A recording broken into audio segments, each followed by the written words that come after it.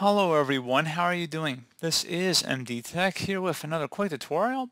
In today's tutorial, I'm going to show you guys how to uninstall Microsoft Edge from the Windows 11 computer. So if you're just trying to get rid of it, I'm going to show you guys how to do it. Strongly would suggest creating a restore point or a backup of your system before proceeding though. But once you've done that, you're ready to accept the risk of that. We're going to go ahead and jump right into it. So we're going to start by opening up File Explorer. So either select the taskbar or icon or search for it and you want to select this PC on the left side. Double click on your local disk, which should have the little Windows icon above it. Go ahead and double click on it. Double click on the Program Files times 86 folder, and then locate Microsoft. Double click on it. Should be an Edge folder in here. Double click on that one as well. Should be an application folder. Double click on it.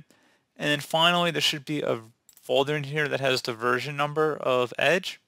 So at this point, you want to go ahead and double click on it and you want to go down to installer.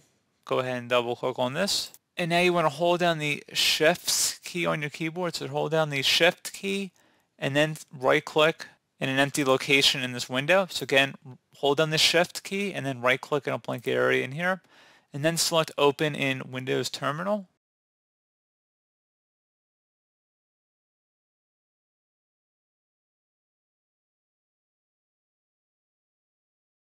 Now I'm going to include a command in the description of my video guys. I want you to copy it and then paste it into this PowerShell window here. So just copy it.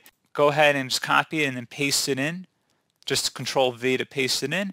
Then hit enter. Select yes if you receive a user account control prompt. And then once you're done with that, if you try and open up Edge, it should no longer be on your computer. So again, pretty straightforward here guys. You see it does not open when you try and type it in, so it has been removed from our computer. You can reinstall it, but I just showed you guys how to remove it here.